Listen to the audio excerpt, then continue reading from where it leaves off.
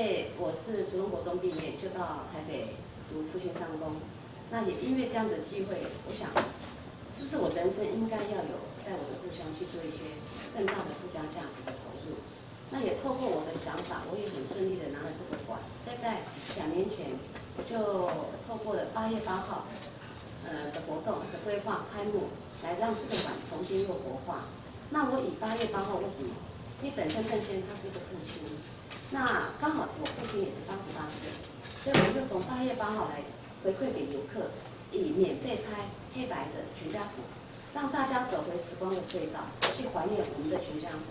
那事实上，影像这个部分呢，就是希望让我们找回我们的记忆，留下我们的记忆，这是非常重要。那如果透过我们的黑白，因为影像，就像我在去年，我这边成立一个黑白暗房，其实影像东西就是要以黑白。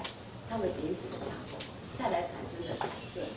那现在我们的数位相机其实是非常方便、非常聪明的，但是呢，透过太聪明、太方便的情况下，我觉得我本身虽然不是很专业，但是我用我的专业就是我的设计美学，所以我在经营这两年多，我拍了无数场的如何在镜头下看美学，透过这样子的传承，去增加我的游客，不是来，邓先的作品。而是增加它在视觉上的美学，我想这个是我在经营一个很大的策略。那第二个呢？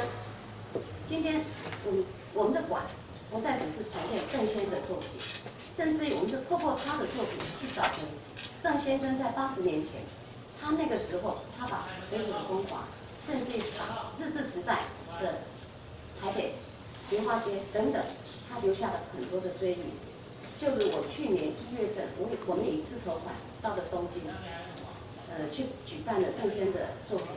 当时当地的人看到这些八十年前的东京，我觉得他们的给我们的反应是非常好。他们会去看的，大都是七八十岁，因为他那个时候他看到是说，台湾那时候台北市是受过日本的治理，可是没有机会来，所以他们大部分的老人家给我们看的反应是哇，这就是我们当时的。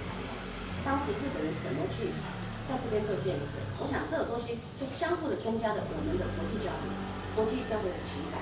所以当我们举办完的时候，我就把我们所有的展览的作品全部留给他在左昌美术馆。这也是我把邓先生带出去。他们甚至是希望说有机会他们在那边也可以办邓先生的作品。我想这个是我很大的收获，让邓先生走回他在日治时代他在日本留学的一个足迹。那。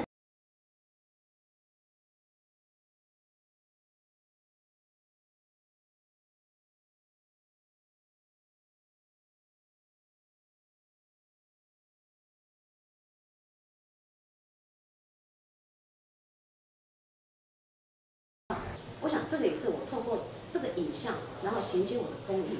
我想这个部分也是我很大的在这个馆经营的脉络里主要的原因。哎，他们。